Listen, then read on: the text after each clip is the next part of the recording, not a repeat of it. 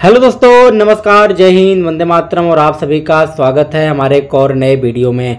आज इस वीडियो के अंदर हम आपको बताने वाले हैं कि गवर्नमेंट द्वारा एक नए कार्ड को लॉन्च कर दिया गया है।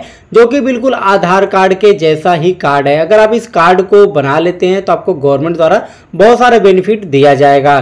तो कौन सा ये कार्ड है? कैसे आपको ऑनलाइन अप्लाई करना है? क्या इसका प्रोसेस है? कौन कौन लोग अप्लाई कर सकते हैं? कौन लोग अप्लाई नहीं कर सकते हैं? जो लोग अप्लाई कर सकते हैं, उनके कौन कौन से डॉक्यूमेंट लगने वाले हैं?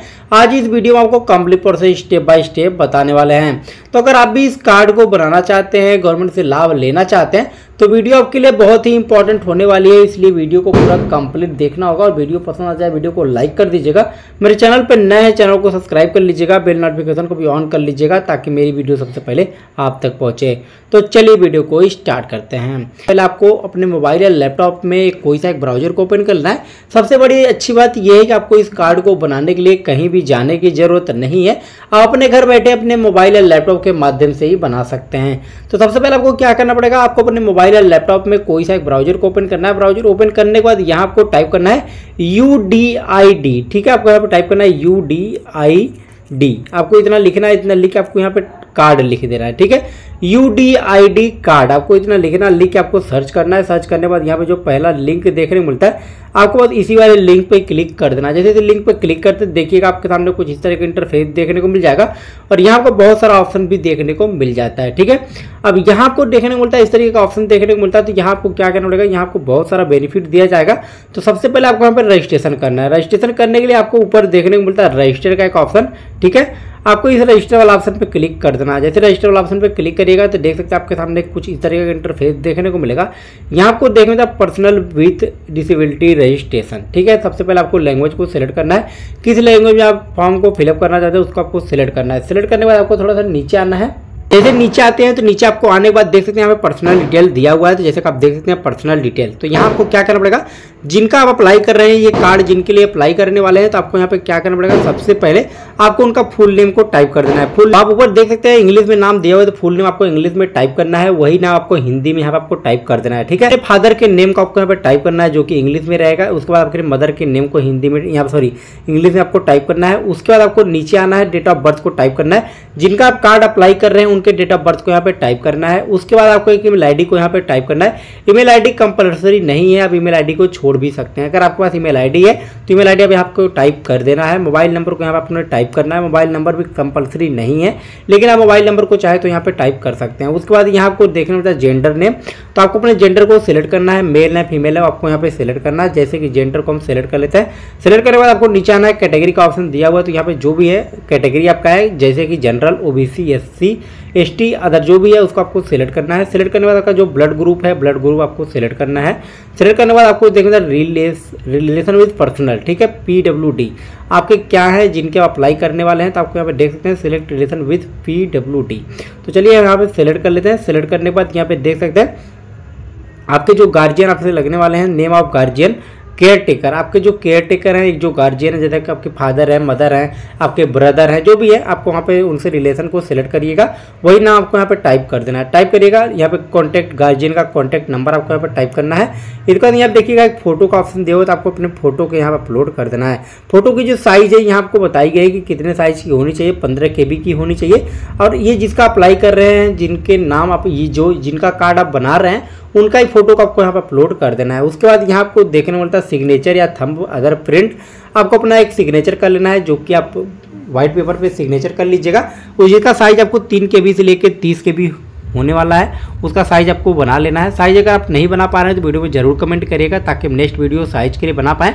वैसे वीडियो चैनल में पहले से ही बना हुआ आप वहाँ पे देख भी सकते हैं। तो अपने सिग्नेचर या थंब को यहाँ पर अपलोड कर देना है। उसके बाद यहाँ देखने को मिलता है ऑप्शनल डिटेल ठीक है? इसको आप छोड़ दीजिएगा या फिर आपको अगर फिल करना हो तो फिल कर सकते हैं। जैसे आपका यहाँ पर्सनल इनकम कितना है और यहाँ आपको आपकी क्वालिफिकेशन क्या है?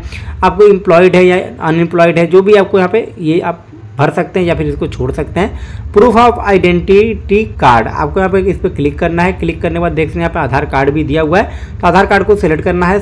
सिलेक्ट करने के बाद यहाँ पे अपने आधार कार्ड को अपलोड कर देना, जो कि दस के से लेकर पाँच सौ तक होनी चाहिए। अपने आधार नंबर को यहाँ पर टाइप करना है। इस चेक बॉक्स को क्लिक करना है। क्लिक करने के बाद आपको नीचे आना है। नीचे आपको देखने को मिलता है एड्रेस ऑफ़ करेस्पोंडेंट्स ठीक है?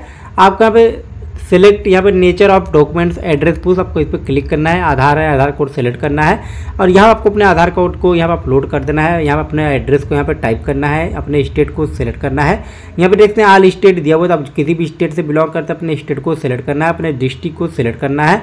डिस्ट्रिक्ट सेलेक्ट करने के बाद अपने यहाँ पे तहसील को सिलेक्ट करना है, जो भी आपका तहसील है, तहसील को सिलेक्ट करिएगा ब्लॉक ब्लॉक या विलेज को सिलेक्ट करिएगा, जो आपके एरिया का पिन कोड होगा पिन कोड को आपको यहाँ पर टाइप करना है। अब यहाँ पे बात आती है डिस डिसेबिलिटी का, ठीक है? अब डिसेबिलिटी मतलब आपके अंदर क्या प्रॉब्लम है, ठीक है? ये उन, ये कार्ड जो है, ये उनके लिए जिनके अंदर कुछ प्रॉब्लम है। तो आपको यहाँ पे एसिड अटैक हुआ है या फिर आपको यहाँ पे ब्लाइंडनेस है, यहाँ पे केयर पल्सी है या फिर क्रोनिक आपको यहाँ पे बहुत सारा यहाँ पे ऑप्शन दिया हुआ है। तो जो भी आपको, जो भी आपको प्रॉब्लम है, वो आपको यहाँ पे सिलेक्ट कर लेना है, ठीक है? सिलेक्ट कर लीजिएगा सिलेक्ट करने के बाद यहाँ आपको देखने में है डिसेबिलिटी ड्यू टू आप यहाँ से देख सकते हैं एक्सीडेंट हुआ है या फिर आप कॉन्ग्रेगेंटियल्स है मेडिसिन इन्फेक्शन आपके पास आपके आपको कैसे प्रॉब्लम हुआ है? वो आपको यहाँ पे सिलेक्ट कर देना है। सिलेक्ट करने के बाद यहाँ पे देखने को मिलता है disability since disability by birth अगर बर्थ से है, पैदाइश है तो आपको इसको सिलेक्ट करना है। नहीं तो आपको इसको सिलेक्ट करना है डिसेबिलिटी सिंस वाला ऑप्शन को सिलेक्ट करके आप किस सन में आप डिसेबिलिटी हुए हैं, वो आपको यहाँ पे सिलेक्ट करना है। सिलेक्ट करने के बाद अगर आपके पास do do you have disability certificate है तो आपको यस करना है, नहीं तो आपको नो वाला ऑप्शन पर क्लिक कर देना है। अगर यस करिएगा तो आपको सर्टिफिकेट को भी अपलोड करना पड़ेगा। नहीं है तो आपको नो कर देना है। यहाँ पे देखने को मिलता है hospital for issue of UDID card ठीक है? अब आपको यहाँ पे क्या करना पड़ेगा? Is your treating hospital in other state तो आपको अदर स्टेट को भी सिलेक्ट कर सकते हैं, अपने स्टेट को भी सिलेक्ट कर सकते हैं हॉस्पिटल नहीं। यहाँ पे देखें प्लीज़ सिलेक्ट हॉस्पिटल जो भी आपको हॉस्पिटल है हॉस्पिटल को सिलेक्ट करना है कैप्चा कोड को यहाँ पे टाइप करना है चेक बॉक्स को क्लिक करना है और सबमिट वाला ऑप्शन पे क्लिक कर देना है। अब जैसे सबमिट वाला ऑप्शन पे क्लिक करेगा, ये जो कार्ड है, आपका ऑनलाइन अप्लाई हो जाएगा और आपको एक रेफरेंस नंबर मिल जाएगा। अब आपको इस कार्ड को अगर चेक करना है, कैसे आप चेक करेंगे तो उसके लिए आपको क्या करना पड़ेगा? फिर से फिर से आपको इसी पेज पे आना है। इसी पेज पे आने के बाद आपको यहाँ पे देखने को मिलता है, यहाँ पे देखते हैं, पहले आपको रजिस्ट्रेशन करना है। रजिस्ट्रेशन करने के बाद आपको फिर से इसी पेज पे आना है। यहाँ पे लॉगिन का ऑप्शन दिया हुआ तो आपको क्या करना पड़ेगा? लॉगिन वाला ऑप्शन पर क्लिक कर देना जैसे लॉगिन वाला ऑप्शन पर क्लिक करिएगा तो यहाँ से आपको इनरोलमेंट नंबर या यू डी नंबर मिला जाएगा वो आपको यहाँ पर टाइप करना है। डेट ऑफ़ बर्थ को यहाँ पर टाइप करना है। कैप्चा कोड टाइप करना है। लॉगिन वाला ऑप्शन पर क्लिक करके आप कोई भी अगर आप चेंजेस करना चाहते हैं तो आप चेंजेस कर सकते हैं। लेकिन अगर आप स्टेटस चेक करना चाहते हैं तो आपको यहाँ पर क्या करना पड़ेगा? थ्री लाइन पर आपको क्लिक करना है। थ्री लाइन पर आप क्लिक करने के बाद यहाँ आपको बहुत सारा ऑप्शन देखने को मिल जाएगा, ठीक है? होम वाला ऑप्शन पर क्लिक करना है। जैसे होम वाला ऑप्शन पर क्लिक करिएगा। होम वाला ऑप्शन पर क्लिक करते हैं तो यहाँ पे देखिएगा आपको थोड़ा सा नीचे आना है। नीचे आपको देखने को मिलता है। अप्लाई अगर आपका कार्ड खो गया है तो भी आप यहाँ से अप्लाई कर सकते हैं। लेकिन आपको यहाँ पे देखने मिलता है अप्लाई करने के बाद ट्रैक योर एप्लीकेशन स्टेटस आपको क्या करना पड़ेगा? इसी वाला ऑप्शन पर क्लिक करना है। क्लिक करने के बाद आपको यहाँ पे देखते हैं ट्रैक एप्लीकेशन स्टेटस का ऑप्शन दिया हुआ है तो आपको ट्रैक एप्लीकेशन स्टेटस वाला ऑप्शन पर क्लिक करना है। क्लिक करने के बाद यहाँ से अपने स्टेटस को चेक कर सकते हैं। जैसे कि यहाँ पर track application enrolment U I request number mobile number Aadhaar number या फिर अदर स्टेट वैल्यू जो भी आपके यहाँ पे है, आपके पास अवेलेबल है, उसको आपको टाइप करना है गूगल ऑप्शन पर क्लिक कर देना है। इस तरीके से आप अपने स्टेटस को चेक कर सकते हैं। अब बात कर लेते हैं कि आपको यहाँ पे क्या क्या बेनिफिट मिलने वाला है तो उसके कवर कार्ड का स्टेटस आप बना ली स्टेटस भी चेक कर लिया अगर आपका कार्ड बन चुका है तो यहाँ पे देखने को मिलता download your e disability card e U D I D I यहीं से अपने कार्ड को आप डाउनलोड भी कर सकते हैं। अब बात कर लेते हैं कि आपको इससे बेनिफिट क्या क्या मिलने वाला है तो उसके लिए आपको यहाँ पे देखने को मिलता है थ्री लाइन आपको थ्री लाइन पे क्लिक करना है। थ्री लाइन पे क्लिक करने के बाद यहाँ आपको देखने मिलता है कार्ड बेनिफिट का एक ऑप्शन आपको कार्ड बेनिफिट वाला ऑप्शन पे क्लिक कर देना है। जैसे कार्ड बेनिफिट वाला ऑप्शन पर क्लिक करेगा, आपको ऊपर देखने मिलता है थ्री लाइन आपको थ्री लाइन पे क्लिक करना और यहाँ पे ट्रांसलेट वाला ऑप्शन पे क्लिक कर देना है। जैसे ट्रांसलेट वाला ऑप्शन पर क्लिक करेगा, देखिएगा आपके सामने कुछ इस तरीके का इंटरफेस देखने को मिलेगा। यहाँ आपको बताया गया कि U D I D U D I D card विकलांग व्यक्तियों के लिए नीचे दिए गए अनुसार का लाभ लाएगा, ठीक है? ये अगर आपके घर में कोई विकलांग व्यक्ति है तो आप इस कार्ड को बना सकते हैं, जिसके को दस्तावेजों की कई प्रतियाँ बनाने बनाने, बनाए रखे और कई दस्तावेजों को ले जाने की आवश्यकता नहीं होगी, क्योंकि कार्ड में सभी आवश्यक विवरण शामिल होंगे। तो मतलब ये है कि अगर आप इस कार्ड को बना लेते हैं आपको कोई भी सर्टिफिकेट कहीं भी लेके जाने की ज़रूरत नहीं है, अगर आपके ये कार्ड बना हुआ है तो आपको सब कुछ यहाँ पे सभी, जो भी योजना चलाई जाएगी, सभी स्कीम का आपको लाभ मिलने वाला है। अगर आप इसकी योजना भी देखना चाहते हैं तो आपको इस पर क्लिक करना है। क्लिक करने के बाद चलिए पहले हम इसको इंग्लिश में कर लेते हैं। आप इसको हिंदी में कर सकते हैं या फिर इंग्लिश में भी कर सकते हैं। चलिए हम फटाफट इसको इंग्लिश में कर लेते हैं। तो आपको क्या करना पड़ेगा? उसी वाला ऑप्शन पर क्लिक करना अंडो वाला ऑप्शन पर क्लिक कर देना है। इसके बाद आपको नीचे आना है। इससे अगर आपको बेनिफिट लेना है आपको कौन कौन सा बेनिफिट लेना चाहते हैं तो यहाँ आपको देखने को मिल जाएगा। देख सकते हैं, अभी कोई विकलांग व्यक्ति है और आपका उस का ये कार्ड बनाना चाहते हैं, नहीं बना पा रहे हैं तो आप वीडियो में ज़रूर कमेंट करिएगा और आपका कार्ड अगर बन चुका है, कोई आपको प्रॉब्लम होती है, किसी स्कीम का आपको लाभ नहीं मिल पाता है तो आपको यहाँ पे क्या करना पड़ेगा, इसी पेज पे आना है, आपको थ्री लाइन पे क्लिक करना है कॉन्टैक्ट का एक ऑप्शन देखने में आपको कॉन्टैक्ट वाला ऑप्शन पर क्लिक करना है, आपको अपने पूरे डिटेल को यहाँ आपको फिल करना है और सबमिट वाला ऑप्शन पर क्लिक कर देना है।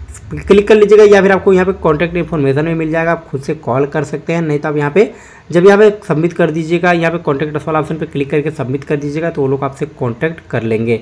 तो इस तरीके से यहाँ पे आपको यू कार्ड को अप्लाई करना है, इसका आपको बेनिफिट लेना है कार्ड का स्टेटस को चेक करना है और कार्ड को यहीं से डाउनलोड कर लेना है। तो आज के वीडियो में इतना ही। मिलते हैं नेक्स्ट वीडियो अगर वीडियो पसंद आए तो वीडियो को लाइक कर दीजिएगा। मेरे चैनल पर नए चैनल को सब्सक्राइब कर लीजिएगा। बेल नोटिफिकेशन को भी ऑन कर लीजिएगा ताकि मेरी वीडियो सबसे पहले आप तक पहुँचे।